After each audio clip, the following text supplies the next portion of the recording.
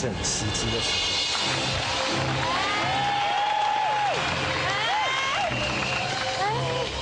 为什么要把我们三个安排在这？年度最佳近距离魔术师。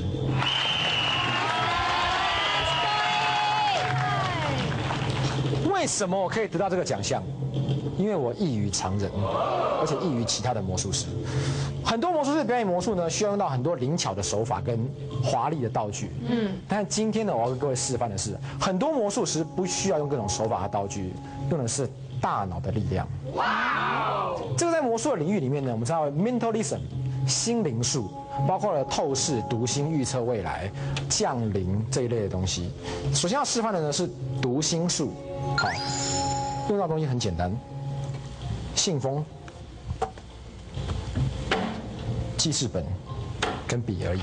好，我先说明一下，很多人表演读心术呢，是魔术师去猜观众心里在想什么。随着时代已经过去，现在已经不一样了。今天我要示范是让观众来猜我在想什么，怎么猜？反向操作，哎反向操作。嗯。首先我要请现场这么多观众里面选一个出来，但是呢，如果直接挑，大家觉得我们串通过，他当然知道我在想什么，因为我们串通过。所以呢，我要用完全 random 的方式找出来丢球，基委会拿这个。好，我数到三就往后面丢，好尽量丢远一点。好，你看他们多兴奋，好踊跃哦。丢丢到那个观众站起来，我要跟他做心灵上的交流。OK，拿着数到三来哈，好，预备，一、二、三。好，小姐不要动，抢的吧？不要动，就站在那边就好。抢的吧？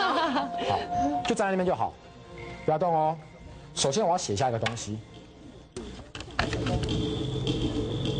呃，好，写完之后我把它封起来，折起来，好，折起来，哇，放到信封里面。所以都没有人知道写什么，没有人知道写什么。他自己知道而已。没有看到。好性感哦！放到里面去，放到里面去。封起来之后呢，放在这里，证明没有人会动过它。你们大家就要看着，我不会去动它。OK，好，所以里面呢，现在我写了一个英文字母在里面。英文字母。全世界除了我自己之外，没有人知道这英文字母是什么。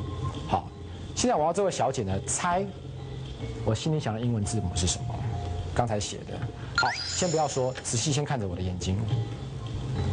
现在我要把我的思想直接灌输到你的大脑里面去。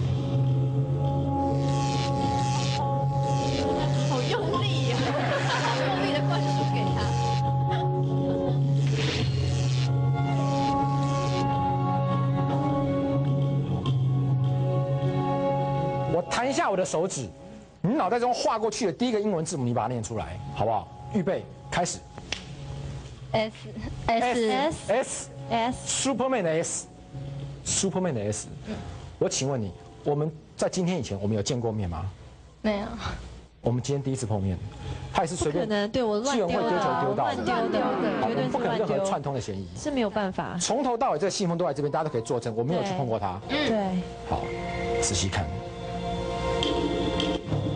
仔细看，接下来就是见证奇迹的时刻。